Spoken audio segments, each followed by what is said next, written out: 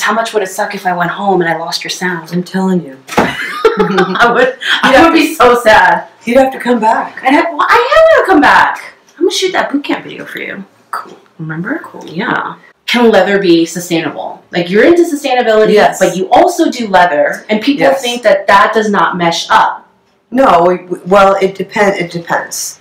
It depends. Um, we are using, for example, I will use hides if the animal was not killed for it. So how do you figure that out? Um, well, I, I don't buy um, fur hides. Um, okay. Okay, I mean, there's some things that are really obvious. I mean, if you know Mhm. leather, you know, like Astrakhan. You don't. Okay, I'm sorry. I'm not going to use Astrakhan. Mhm. All right. I'm not going to use. Um, I mean, that's fetal lamb, right? You know Mhm. that. My viewers do now. Okay. Yes. They- I think you forget you're not really talking to me, but you're talking to Okay. my viewers who Okay, know far less than I do. Okay, Astrakhan means they kill the baby lamb before it's born, like within three days of it being born, and they skin it. And that's where the that's where that curly, you know, that beautiful Mhm. hide comes from. Curly, beautiful hide. Mhm. It's from a fetal lamb. So we don't uh, personally here. Well, we've been. I've been a vegetarian for many years, many Mhm. many years. So I only work on hides that the animal was not killed for their hide, and that basically means pig, Mhm. you know, cow, um, elk, Mhm. deer. You know, it's it's not hard. Um, Can you ask the tanner? Are they, they are they supposed to tell you? No, but ask? nobody's going to kill a pig for anything but food. Nobody kills a cow for anything but food.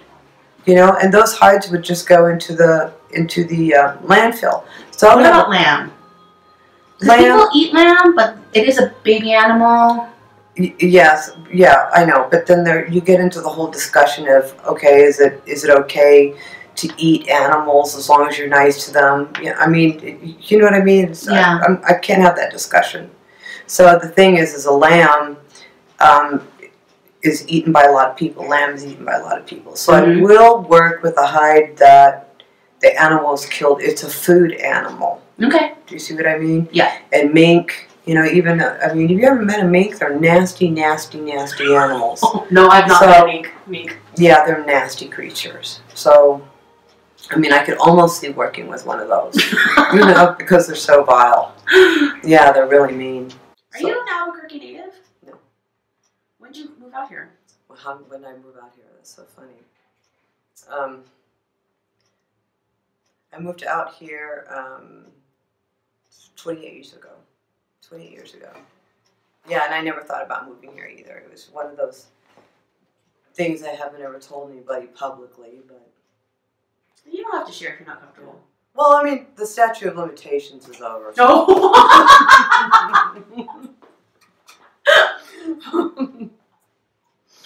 no, no, no. Seriously, I was married to somebody that I shouldn't have been married to. Was a very Oh. bad person. Was a very, very bad person. And um, and I literally was going into the witness protection program. I know, I know. And you tell people that, and it's it sounds like the opening of a big scam, but yeah, it's kind of it's not what people think. Going into the witness protection program is not like in the movies at all, and um, it's like a six month process.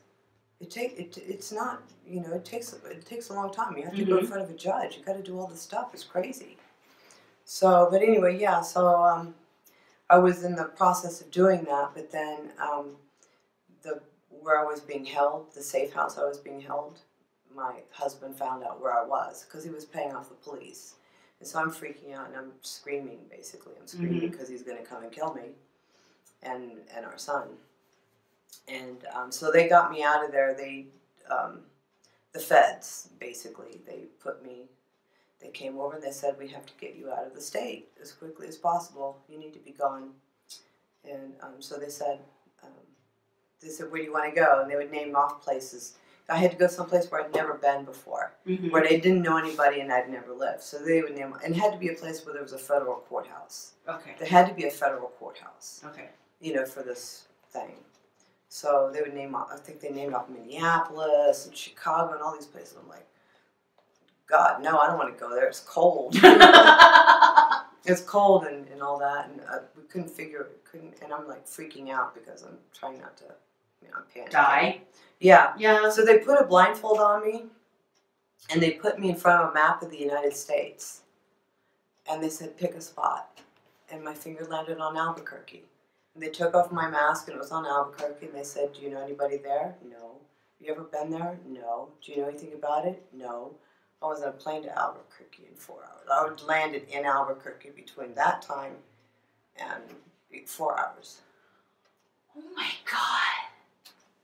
Yeah, that's how I ended up in Albuquerque. What? That's how I ended up here. And I ended up and I was in the battered women's shelter. I lived there with my son for about six months. And my son was very, very ill at the time and he was in the hospital almost all the time. So I couldn't even get a job because he was so sick all the time. Oh man. hmm And we had just come back from South America and they thought that it might have been something that Uh huh. he got there. They just couldn't figure out ever what was wrong with him. He just, you know, he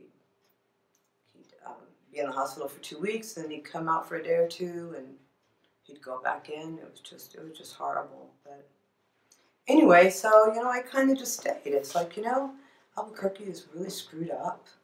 It's a really screwed up kind of place, but it's it's got its own charm, and it's like you know, you know, they took us in. You know, we were mm-hmm. refugees. You know, the city mm-hmm. took us on. They made a way for us. They made a home for us, and you know, I'm just, I'm just paying it back. Mm. You know, there's other places I could go. It'd be a lot easier to make a living, and but somebody's got to stay down and hold down the fort, right? Wow. Yeah. You know, like I told you how like my long-term goal was to travel the world teaching because like I want to know like one of the things about that is I want to see how the industry functions in all these areas. And like if I were to come to a university out here and he, like I would love to hear stories about how the industry functions here. As opposed to like you know everyone has these ideas of like oh you know summering in italy and that's all grand and everything. But i also want to go where people are just making stuff. Like i want to see all the sections that's why i love checking out factories like yours because i want to see So you're gonna come for boot camp, and then that'll be incredible. oh my god i'm so excited i have it on my calendar already we're doing it we're That's doing gonna it be great. oh my god And tell you people if they're gonna sign up for that, it fills up super fast, like within 18 hours. oh so we need to tell them about boot camp because we don't have any of that on camera Okay. so please tell uh, my viewers slash students Okay. about your boot camp program Okay. So we do manufacturing boot camp twice a year, and we um, it's it's for charity. Nobody makes any money on it. As a matter of fact, my company loses a lot of money on it. But basically, what we do is we bring in people for four days, and we bring we take anybody, whoever signs up. In other words, somebody who has no experience and somebody has a lot of experience. But basically, we take and we create a product during that time. I mean, we've had the patterns and all that stuff done ahead of time, but we will spread the fabric, cut and sew it over four days, and you know, do this. So, for example, this is what we made last fall. Is we made the, we make coats every fall. So we bring in 20 to 25 people to make 100 or more coats. So and they're and they're nice. So they've got you know got a collar, they've got facings, they've got zippers. Um, you know, it's a nice quilted lining. They're fully lined. We make um, they have pockets. They have this um, reflective tape because the kids who live in the areas where we make these where we send these coats don't have any uh, infrastructure. You know, rib knit cuffs so it lasts the kid for a while. That is so clever. I was just I, when I first saw it, I was like, oh, that's cute, but no, it, it has a purpose. Yeah, Yeah. Yeah. and then right here, um, in this sleeve right here, is a little zip pocket. This is for the kids to put like their lunch money or their house keys or something right here. Oh, So they like to have one zip pocket, so that's just in the one sleeve. nice. So we made these, uh, a hundred of these in uh, blue and black. So this is one colorway. That was the blue was the one colorway, and then the black is the other colorway. Mm-hmm. And we're very particular. Um, see this, I only have these products because they're defective. What's defective about those? Um, this one, you bring your camera way over here so you can see this. There's a little tiny, the, the ribbon didn't get sewn in there correctly. Ah, okay. So that, but otherwise this one is perfect. This one is because the, see this box stitching around the waist? On this waistband tab, it Mhm. doesn't go up all the way. So we don't charge anything. We don't charge for the boot camp. It's not a class or anything per se. People Mhm. have to kick in money so we can buy fabrics. Mm-hmm. So we can buy fabrics, ribbing, all the materials that go into it. It's catered. So so we we do collect money from people who come, but as a way to cover the expenses of the event itself. So nobody makes money on this. And the other reason why we do it is because we give people. There's a lot of people that want to learn how to run factories. And it's not, the- these are younger people, and, and there's really no way for that. It's not like it was when, when I got out of school where you just got a job in a factory Mm-hmm. figure out how to st- there's no factories for people to get jobs in anymore Mm-hmm. and what little ones there are it's like you know a lot of them are little and they don't know what they're doing themselves Mm-hmm. so we bring people in for this event so that they could see how a model facility you know what what production looks like in a model facility and they're not going to know everything they're not going to figure everything out i've got my camera here wait here's here's some boot camp shots from and I can get you more of these pictures. This guy's an environmental attorney in Austin. Oh. Yeah, we get people from everywhere. We've had people from Norway, from India, Mexico, Canada, U.S. I mean, from all over. Um, what Senegal? I don't know. Everywhere we've gotten people. Um, but anyway, it gives people an opportunity to see, you know, how is production organized? You know, what, how do we bundle things? How do we sort things? How, how does all this stuff happen? mm-hmm. So, and we have a blast. It's, we have a lot of fun. So people who have never sewn before, and they leave sewing. You know, that doesn't mean they can do a whole garment construction and everything, but Mm-hmm. so it's a lot of fun. Trial by fire. It's like drop them in. Yeah, it's great. It's great. But the thing is, is that it fills up very, very quickly. It fills up in like 18 hours for the time that I announce it. Holy crap. Yes. They better subscribe to you I know, but quick. it's, it's funny because I get people email me all the time. Oh, yeah, I heard about your boot camp, and I'm planning on signing up, Kathleen. And it's like, well, I don't know when. But, I mean, it's like they think they're doing me a favor. It's like, no, no, no. You need to get on that waiting list, and then as soon as it's announced, sign up. You know, My video camera and I will be there to witness all the magic. I'm excited. it's fun. I'm excited. No, I've seen the pictures. Everyone looks like they're having a good time. Yeah, we do. We do. We have a great time, and we also and we do. We get to do a really positive thing. So, this um, this March, we're going to be making kids' school pants. Mm-hmm. So, kids' school pants, and in the fall, every fall, we make the kids' coats.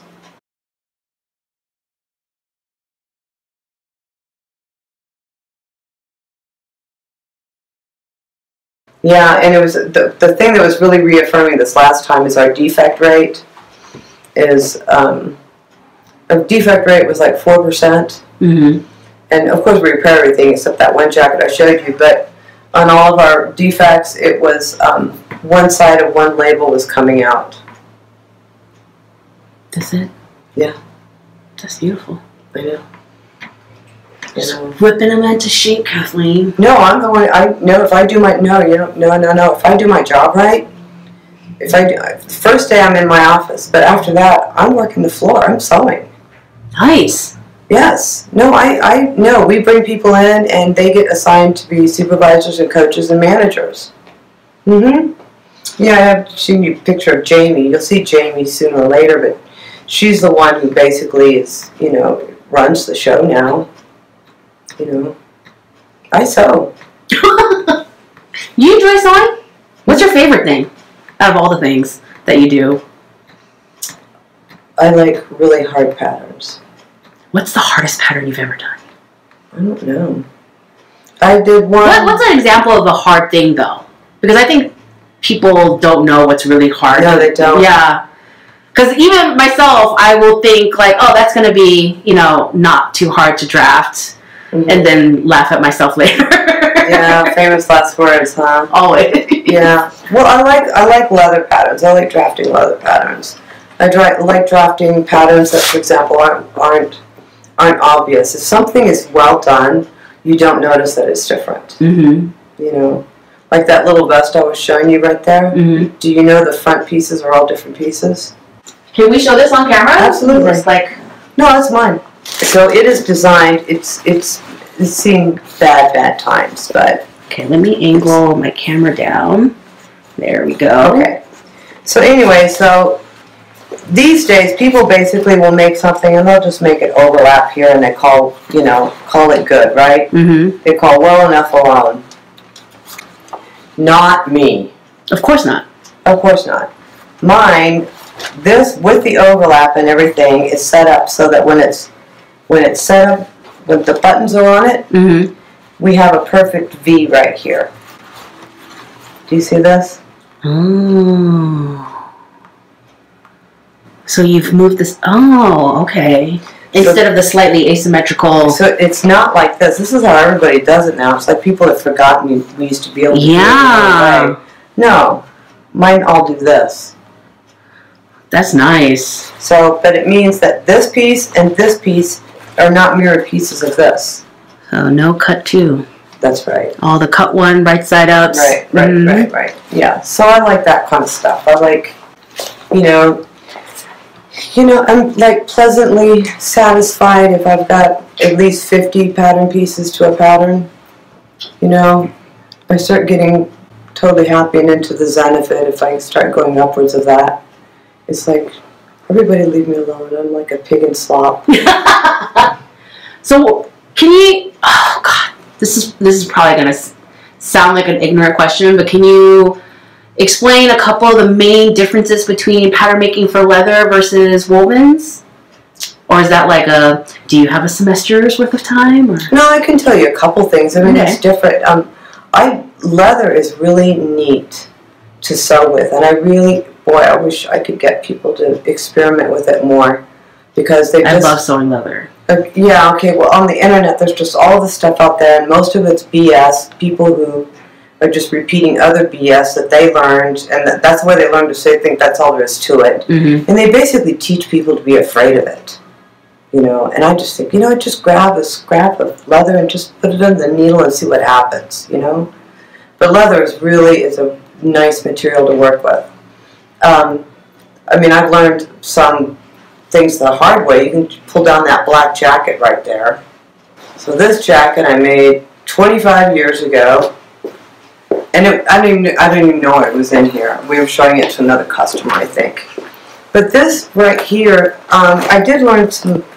Okay, like you know when you're making your facings and stuff, you know how you have to cut the facings back and they can't be an exact match to the neckline, you know, because you can't have area still. Uh, it's a matter of physics. You can't have two things in the same place Mm-hmm. you know, and that becomes very, very noticeable in leather.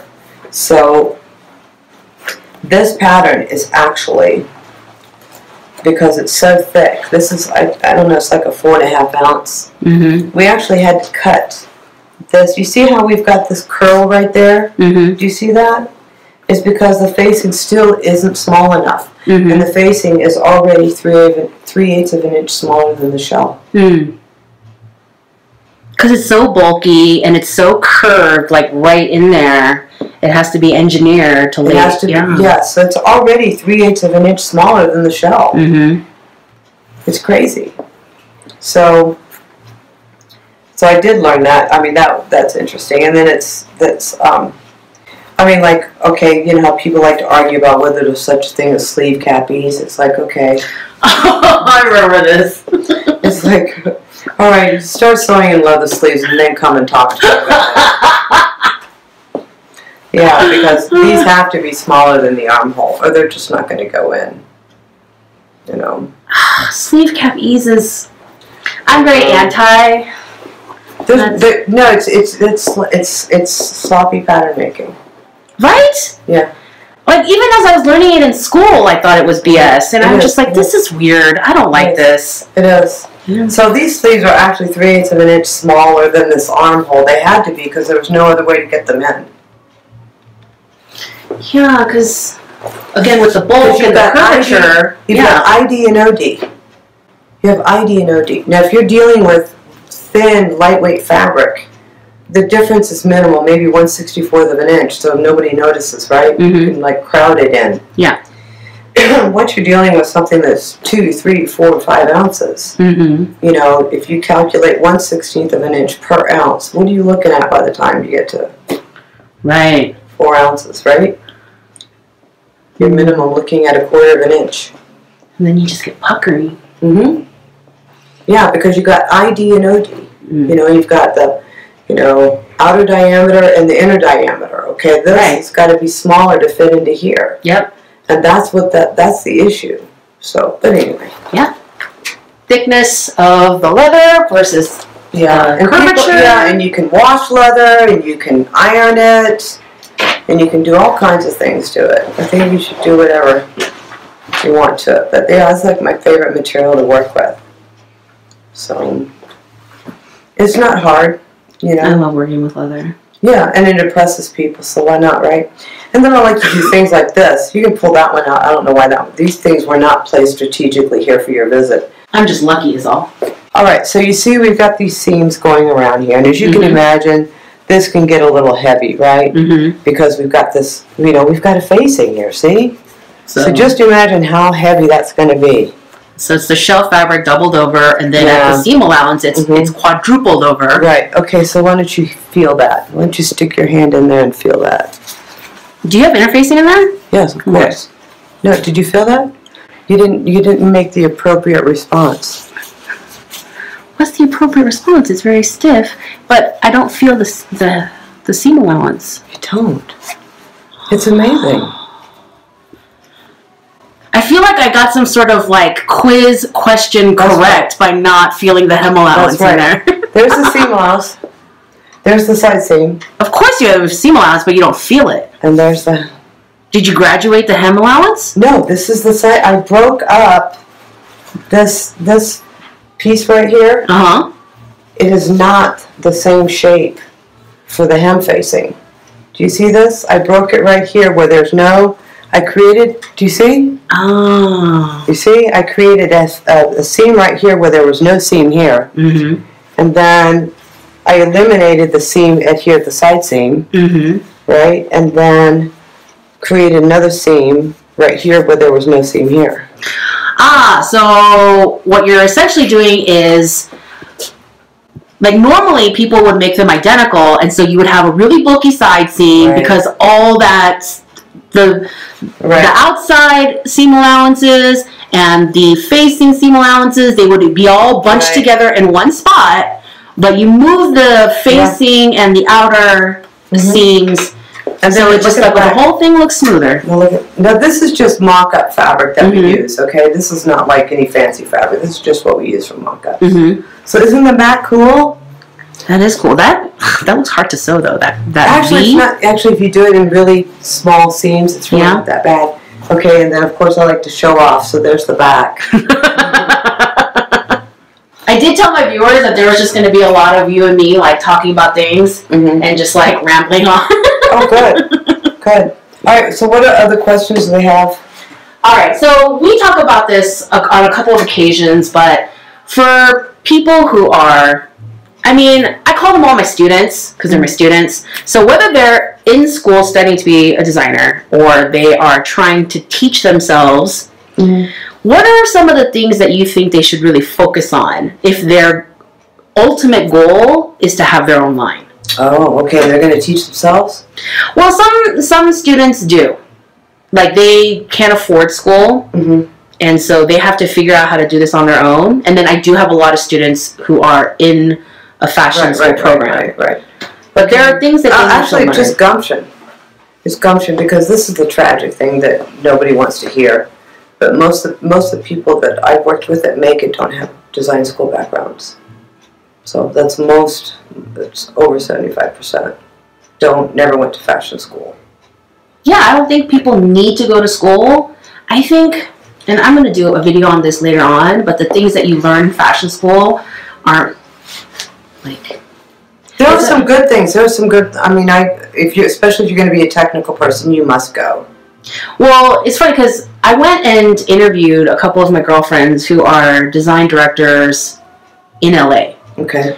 And one of the questions I asked them both was, "What did you learn in fashion school that has like continued to be invaluable to you now?" Because they went to school with me, so they graduated like a million years ago, and they're like, they answered separately, but they answer the same kind of stuff. They learned how to manage time Mhm. and how to work really hard and the limits of how hard they could work and you know work process and things like that and not like individual skills Right. so much Right. and i think that that's something that not a lot of self-educated people can get Mhm. is you know in school you have someone really pushing you Yeah, but they come from other businesses too.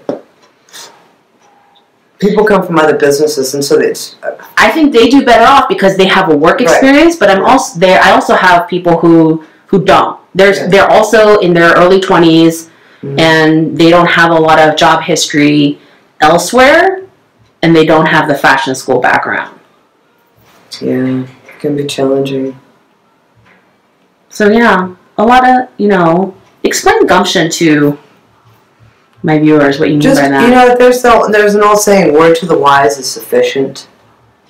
A word to the wise is sufficient. So if you come and you ask somebody for advice, you know, and they give you some advice and you don't follow it, but you come back for more advice, and they okay give you more advice and you also don't follow it. The third time you come back for more advice, and it's like this is like in a public arena. Mhm. Okay, this literally happens to me. hmm And I can't, by then, I just want to reach the screen and smack the person.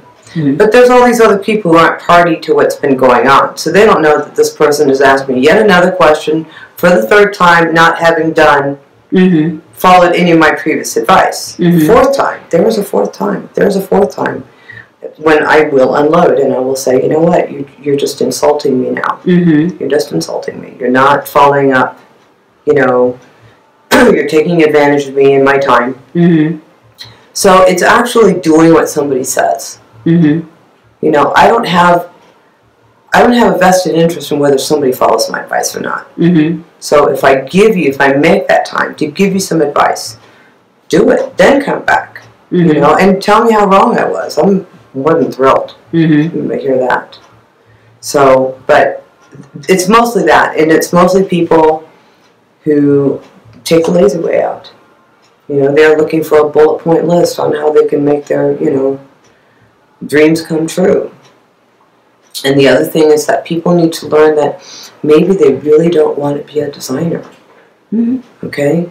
Because I run into people all the time, and I, I consider this like my gift. I run into these design students and hmm found out they're not really designers. You know, and I t- touch them and say, it's okay, you don't have to be a designer. Totally. And they become pattern makers. And it's awesome. And they make way more money than And they make designers way do. more money than they get into something else, you know, and I've Yeah. had them, them be like relieved. Oh, I thought I had to be a designer because I went to fashion designer school. And some of them were like really hot about marketing and, Mhm. you know, becoming sales reps. And hmm it's just, it's a centralized, you know, education and you can branch off from there, you know, do what you like. Yeah. You know? So, It's this funny thing. It's like there's these two two kind of programs that like kind of in U.S. universities. You either have these kind of vague programs like liberal arts mhm. where you take this program and then you don't do anything with it and you go into a career that has really nothing to do with liberal arts or you know Yeah. you just go get a job and but if you go to a school where your degree is specific like fashion design people think oh no i have to go into Right. fashion design or i'm a failure right. they're like i see students lock themselves into that i'm like well no it's about taking the information you learn in your degree and then building the career that Right. you want out of it Right. and if you don't use everything that's fine you use the stuff that applies to you Yeah, and I can tell you what I wish people would learn. I can tell you what I tell us please Yeah. Um, math. I'm the only person I know that that says I wish I'd learned more math. So I do math every day, all day, all day long. i do have a lot of junior high and high school students Yeah. who watch and i'm like no no no you have to you have to really learn fractions hmm if you do pattern making in the us No, even as a designer, you need to be able to add subtract and multiply. Mhm. You will do a lot, a lot of math. Mm-hmm. A lot of math. And math will not scare the art away. I guarantee it. Um, it's knowing how, understanding that as a designer, your key, your the number one thing you are doing is you you're actually a project manager. And I wish I could get people to understand this. Somebody's in charge and it's you. Mm-hmm. You're leading the show and you need to bring all these components of everything all together Mm-hmm. and do it successfully and on time. You know? So it's a very challenging job. It's not a job I would want to do. no way. Uh-uh, no, because because designers get blamed for everything. You know, that's the thing. That's the thing. Being a designer doesn't pay, and it then does not. and then you get you get you know um, you get blamed for everything that goes wrong. They're always the first to get fired if a collection Mhm. doesn't sell. That's right. That's right. Doesn't matter if there was a problem in distribution, That's right. crazy promises made by sales reps. It doesn't matter at all. I know. I know. It's it's always that's Because they always assume, like, if the design was good enough, it would have overcome all those other problems. And since your designs weren't good enough, bye bye. what were you talking about? So we were talking about designers being project managers more than anything, and how they get blamed Oh, they get they get canned a lot. they get But you know, it's always it's always been that has always been an understanding of the business. So if you're Mhm. a designer, you get canned a lot. Even 35 years ago, it was not considered. It wasn't really held against you. You know, it really wasn't, and it was just something that was, you know, par for the course. You just went from place to place to place, and probably made designers more vibrant. Yeah, I did hear when I And was first getting started.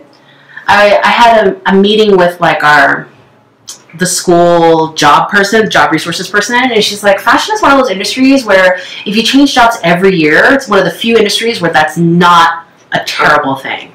Well, except the technical people, that is a bad thing. Yeah, but that's No. yeah, that's different. yeah, your technical people, they're changing jobs. It means you're incompetent.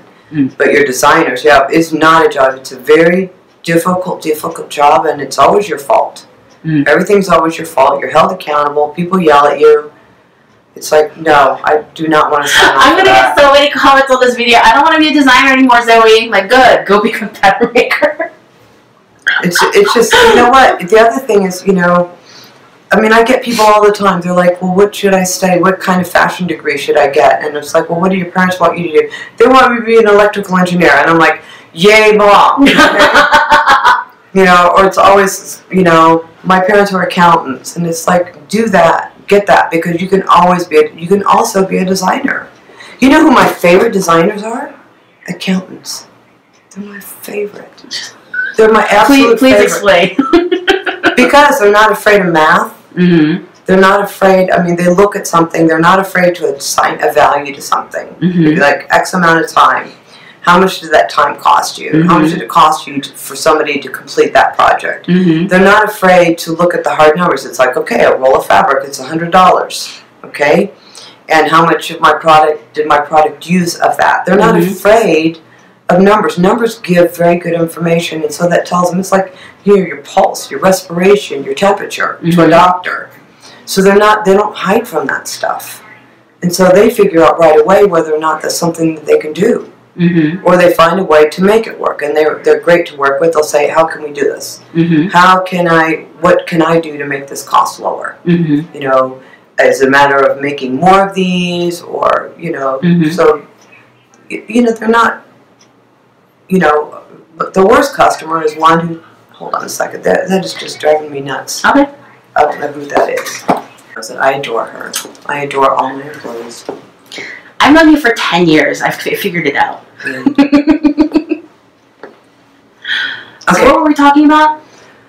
Oh, accountants being my favorite customers. The and other then your least favorite and- customers are um, artists. They're the absolute worst. I'm serious. bring it to me. Yeah. They're the worst. They're the worst. They, they. Um, I mean, bless their hearts. I mean, they're just. You know, I mean, they're immensely talented. You know, I, I think it's awesome. They need to be brought into, I think, into organizations that are more robust, that have a place for them and need their direction. Mhm. Okay. Um, but they're not ideal at starting companies. I always felt that those kinds of people need a partner. Like they can't do it on their Right. own. You know, I was explaining to you how successful my husband's company has Yeah. been. Mhm. It's because, you know, in his field, my husband is the artist. Right. He's so into developing the software. Mhm. He has no brain space for anything else. Like Right. literally, I make fun of him because he doesn't know how to write a check. Like Uh. he literally doesn't know how to write a check. Okay. But he is, you know, people call him a software genius constantly. Right. He's so smart. He Right. does not know how to write a check. His Right. business partner, Yeah. he he's the he's the guy who schmoozes. Mhm. He's the guy who kind of figures out organization. He does the sales. He hired more salespeople. Like Mhm. I yeah, like if you are one of the more artistically inclined, like you're so in this headspace person. I don't think you can be successful without. Well, I, a you know, I don't. I don't know, but you'd have to. I mean, I have known artists who were very successful too. I don't know how they did it. I didn't know them well enough to know. I think they have like the best assistant or partner that really helps them with keeping them on track and like doing the things that they might not want to do. Know. I love, I love having that energy. You know, we do get quite a few of them. I mean, they're just special. Hey Zoe from Chapman Ellisor, will you ask Kathleen what was the biggest error she has made while working in the industry and how she overcame it? Oh, that was easy. The biggest mistake I ever made in this business was buying Optitex software. What's that? It's CAD software. It's Optitex. It was a brand, and I got ripped off. And they just thought that I would never tell anybody about it. Oh, Yeah. and now you're telling more people about yes, it Yes, I am. because I have thirty thousand subscribers. There you go. That's right. And if they don't like it, they can refund my money, which I never got back. oh dang! Oh yeah, basically I paid, you know, for a ten thousand dollar doorstop. And then the thing, the thing that you know, there's a lot of lessons to take from it. Mm-hmm. Um, and it took a long time to sort this stuff out. But there's a lot of people who have stumbling blocks and issues of one thing or another. And if you're new to something, you don't know where the problem is. Like it's with software. Okay, you just think it's you. You don't know the software, so you just think that you're the one with the problem. Once you get a little more experience, you figure out you're in a position to judge, and so you know, no, it was the software, no, it was this person, or no, it was this system. Hmm you know so it's really hard. But yeah i didn't think i'd ever actually become digital hmm you know until i got this other cad software which is great StyleCAD and um, the thing i like about it best is that it's particularly good for people who learn to make patterns by hand because basically i can still make patterns by hand i just do it in the computer hmm so i don't have to do all this crazy stuff hmm so, but it's it's a great company. It's a great. It's a small company. It's a Korean company, actually. Wait, this is not the company you were bashing a second ago. No. What's what's the company you use now? StyleCAD. StyleCAD, Yeah, and they're awesome. Yeah, and it was funny because they came up in a discussion on our forum. We have a private members forum, as you know. You are a Mhm. member for however long, and um, and I can't remember. Somebody was talking about this. Two girls were kind of, kind of, you know, loggerheads about this software, and they were going back and forth. And I just said, "Well, you guys could just calm down. It's not that great a thing if I've never heard of it. Can't be that good. Can't be that good if I haven't heard of it. But no, it's great. They just mm-hmm. don't do any marketing. They just don't do any marketing, but it's the and it costs as much as Optitex and everything else does. It costs as, costs as much as Gerber and Optitex and Lectra. It's not any cheaper. It's just better. All right. So you promised us two demos, one on the CAD and one on Welt Pockets, right? Oh, CAD. So I can show you. Grading is gonna. It's like I get other computer users in here, and they think, yeah, this is great, this is wonderful, but it's not until I show them grading that they freak out.